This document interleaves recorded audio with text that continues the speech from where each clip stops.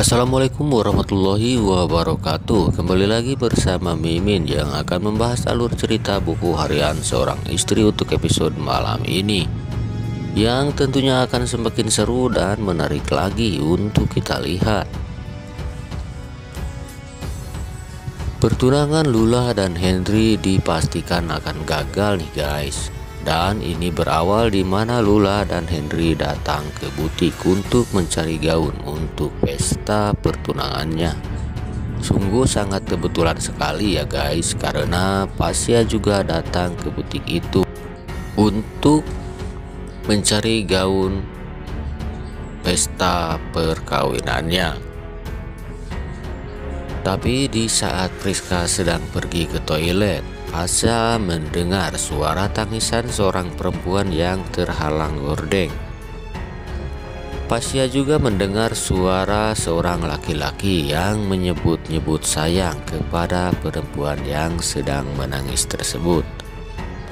Karena Pasya merasa penasaran, Pasya pun kemudian membuka gordennya dan ternyata di dalam terlihat seorang wanita bersama Henry Henry dan wanita itu pun terlihat sangat terkejut ketika melihat Pasha.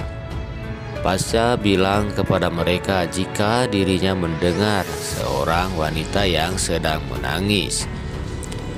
Tapi mereka menutup-tutupinya dan bilang jika suara yang didengar Pasha itu hanyalah suara dari TV.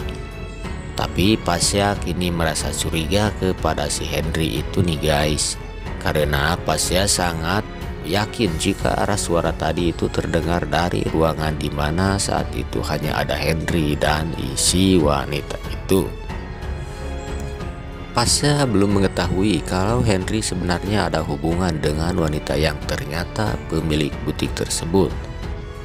Sebenarnya Henry adalah pacar dari perempuan itu karena tanpa persetujuan orang tua Henry Henry juga kini bilang kepada wanita ini jika dirinya terpaksa akan bertunangan karena dipaksa orang tuanya. Bisa dipastikan ya guys jika si Henry ini sebenarnya masih sangat mencintai si wanita itu. Kemungkinan besar Pasya dan Lula juga akan mengetahui tentang hubungan Henry dengan si wanita ini. Tentunya Lula akan sangat kecewa karena Henry ternyata mempunyai hubungan dengan orang lain selain dirinya. Dan Lula juga akan bilang kepada Pak Arman tentang Henry. Rencana pertunangan Henry dan Lula pun akan terancam dan dipastikan akan gagal. Lalu bagaimana dengan Nana yang membaca pesan di handphonenya Dewa? Dewa curiga jika pesan tersebut pengirimnya adalah Dewi. Karena sebelumnya Dewa sudah mengacuhkan Dewi setelah Dewi membantunya melawan rombongan Tony yang akan menghabisi Dewa. Dewi juga sangat kesal kepada Dewa karena Dewa sangat acuh kepadanya dengan hal itu Dewa curiga jika pesan tersebut dari Dewi yang sengaja mengirim pesan untuk Dewa yang berisi kata-kata yang akan membuat Tanah akan murka kepada Dewa. Bagaimana jika benar? Tentunya ini akan menjadi masalah yang sangat besar ya guys untuk Dewa dan juga Nana. Tapi mudah-mudahan saja semua permasalahan Dewa akan segera berakhir ya guys dan si Dewi segera pergi dari kehidupan Dewa dan tak akan mengganggu rumah tangganya Dewa lagi.